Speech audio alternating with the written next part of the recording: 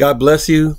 This is Pastor Jamie, and this is our Love Notes Bible study. Yes, for Love Church, this is our Love Notes Bible study. Welcome. Thank you for joining us, and we're going to go right into our study. Um, our first scripture, um, our first scripture is the thematic scripture we're going with, and yeah, as you know, um, we've been in the First Corinthians, the 13th chapter, and now we're going to go to the sixth verse. And key verse, um, key phrase, rejoiceth not in iniquity, but rejoiceth in truth. Once again, 1 Corinthians 13 chapter and the sixth verse reads, rejoiceth not in iniquity, but rejoiceth in truth. Today we're going to talk about truth and justice.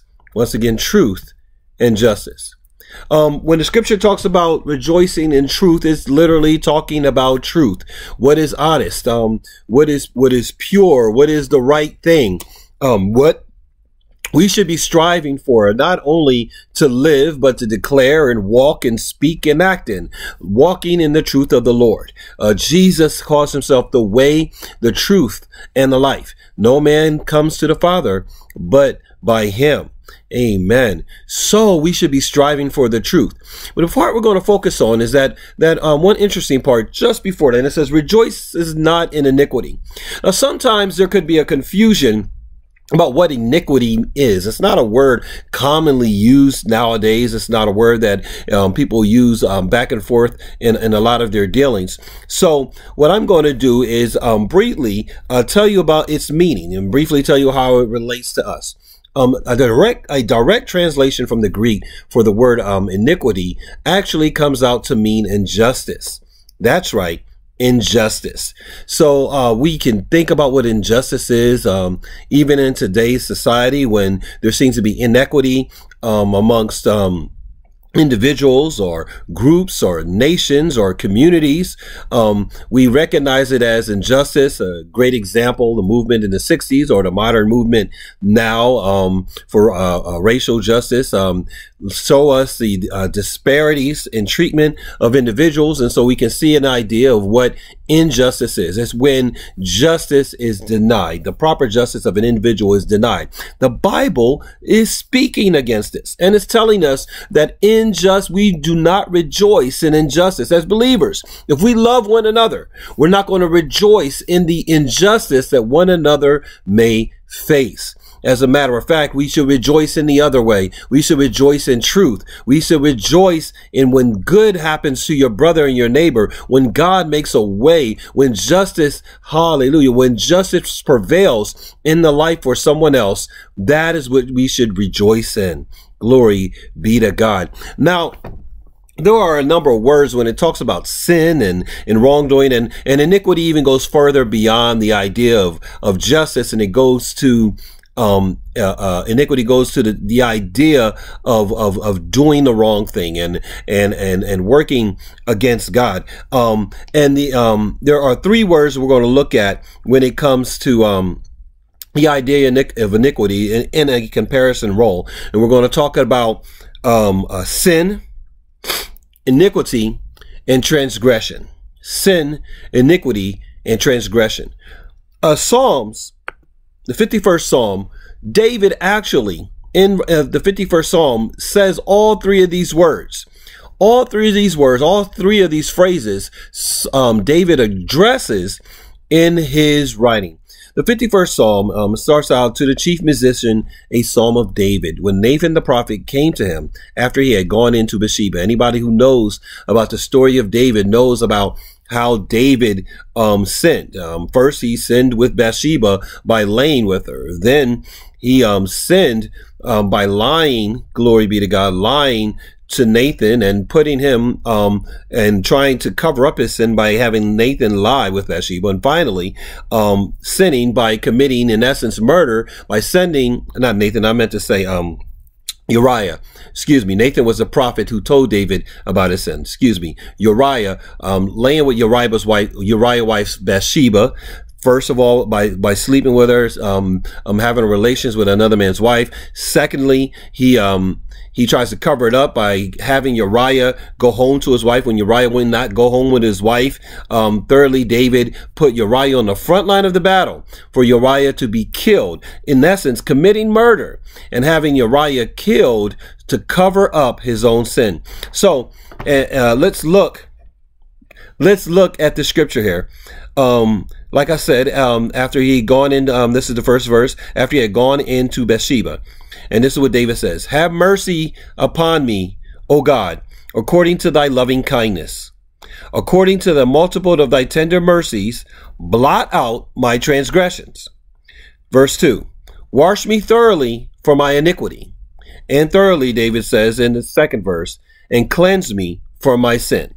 David is asking for forgiveness or God's grace on three different things. Isn't that interesting? He asked for God to um, blot out his transgressions. He asked the Lord to wash him from his iniquity and also cleanse him from his sin. First, let's look at sin. I think that's the easiest one to describe, the easiest one to talk about. Sin is transgressing against God. And um, uh, a lot of times, the best way to, to uh, describe it um, if you kind of think of um, sort of courtroom dramas, and uh, sometimes they'll talk about a crime being premeditated or not premeditated. Um, or um, you know often murder they'll say it's like manslaughter if it was a sort of an instantaneous act and they didn't think about it or they didn't plan uh, they didn't plan on it it will be considered a lower degree of murder it's the same way with sin you didn't plan on it um, you weren't thinking hey this morning i'm going to go out and um, steal or um, you know i'm going to go out and lie. I'm going to go out and commit a sexual sin. But you found yourself in that place and you made the wrong decision and you did sin. While you're still accountable, it's a different type of thing than what we would call a um, iniquity, what we call iniquity or transgression. Iniquity, the word iniquity in the old Hebrew, um, uh, brings us to a place where you twist the standard. It says you, uh, where if sin is falling short of God's standard. Then iniquity is trying to twist or manipulate that standard, trying to twist and manipulate the situation to as make it seem as if you didn't sin. Even though David sinned, he tried to make it seem like he didn't sin. He tried to cover it up. He tried to uh, uh, uh switch up the situation to make it seem as though that he was not responsible for what he had done that he that that you know sort of the, the take the responsibility away from him Glory be to God and make it seem like nothing happened. How many times have we done that? Tried to, try to cover up our sin or tried to justify our sin or try to act like what we did wasn't a sin at all. Um, you know, uh, a good example, um, in um uh, uh, stealing. Uh, sometimes people will say, "Oh no, it's okay to steal." They have insurance for that. You know, they won't feel the pain, or you know, that company won't miss that item because they have insurance over it, or they got a million. They have a, a million. Um, we'll say the word widget. Sound weird. They have a million widgets. They're not going to miss you stealing one or two. Um, there's a whole jar full of cookies. They're not going to miss me taking one or two little cookies, you know, sort of justifying my sin or my sin does not hurt anybody else. You know, me and this lady, we want to do our thing. And if I'm not married, she's not married and we're, we're single and we're doing our own thing. We're not hurting anybody. So, you know, I can justify my sin. That mentality, that attitude is iniquity. I'm trying to change the standard. I'm trying to live in a wicked way Use a wicked justification. Now, iniquity can go larger to uh, um, um, uh, systems and governments and um, organizations and people, um, even um, so-called cults or what they would call themselves ministries, can operate in a spirit of iniquity and an iniquitous mindset in which they try to change the standard. Um, and so, you know, I would I would say that with iniquity, it can hit on a lot of different levels. Sometimes it's not something as small in, you know, in sort of our, our human level as a cookie jar. But sometimes iniquity can be something as large as twisting the standard about a rule is or a law is or something that does have impact on other people's life. Like David, what he did had an impact on someone else's life, but he still tried to twist the thing. He still tried to cover the thing by sending Uriah to go lay with Bathsheba. Finally, when we get to a transgression. A transgression is willfully doing wrong, knowing what you're doing, knowing that it's wrong, but doing it anyway. Finally, David puts Uriah on the front line, knowing that this will kill him. He's piling on on the sin he already did. He's piling on on the iniquity he already committed. And he goes as far as to commit a transgression against God by completely, by completely, willfully going against the will of God and with an arrogant and arrogant attitude. This is why David goes, breaks it down in this first verse um, all the way to the second verse and goes from his most extreme thing to his least, the, the least thing, even though all sin, all unrighteousness is sin. Everything that he did, um, if we done, will, will destine us for a burning hell unless we ask for forgiveness. Now, the beautiful thing about this is that God loved David so much that he sent the prophet Nathan to call David out. God loved David enough that David had an opportunity to get forgiveness of his sin. Hallelujah. Forgiveness for his iniquity and forgiveness for his transgression. Yes, David said, according to thy loving kindness, according to the multitude of thy tender mercies, blot out my transgressions. Wash me from my iniquity and cleanse me from my sin. Or what do you have in your life? Now, I'm going to tell you something. You say, well, why did Paul, when he wrote this 13th ch- uh, chapter Corinthians, why is he talking about iniquity, um, rejoicing in iniquity. What does that have to do with loving my brother and loving my neighbor? Well, when I, when I rejoice in, in someone else's iniquity, when I rejoice in someone else's iniquity, I'm rejoicing in them harming someone else. Remember, the Greek word goes to injustice. Well, you say, well, what do you mean? Um, what, what if, um, their iniquity, what if they're doing or their cover up or what they're trying to do or their sin or their transgression doesn't seem to harm anybody else? You're still harming because you sinning against God. People are sinning against God. And when you sin against God, you hurt God's heart. So when we rejoice in iniquity, when we are like patting people on the back for the wrong they did, glory be to God. Um, when we're co-signing on people's sin, somebody, somebody goes and they, um, they, um, they scam, they scam the government. And we, and we say, I know that's right. Yeah, you better do that or you know we're co-signing or or somebody goes out and um uh, uh, um uh, curses somebody cusses them out or hurts somebody or hits somebody punches somebody in the face and we're patting them on the back and we're rejoicing in it and we're glorifying that sin. We're glorifying that iniquity and we're glorifying their transgressions God is not pleased and we're not showing love because we think we're showing love to the person doing the wrong. In actuality, we're showing a lack of love for the victim of their sin. And all sin has victims. Whether it be God, whether it be you, whether it be another individual, all sin has a victim.